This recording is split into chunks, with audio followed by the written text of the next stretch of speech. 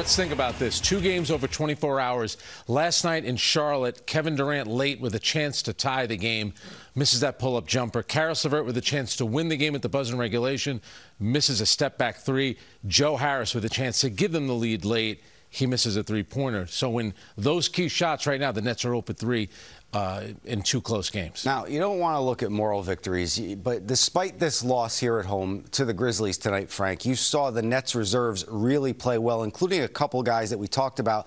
Well, we talked about TLC in the pregame show. Chris Chiozza really yeah. showed out tonight, too. Yeah, especially for a guy who hadn't played yet. And I like the fact that Steve Nash went with both Chiozza and Caris LeVert together in that fourth quarter. gives you two ball handlers. Here would be my concern, though. So you didn't have Kevin Durant, you didn't have Kyrie Irving, Spencer Dinwiddie, obviously likely gone for the right. rest of the season.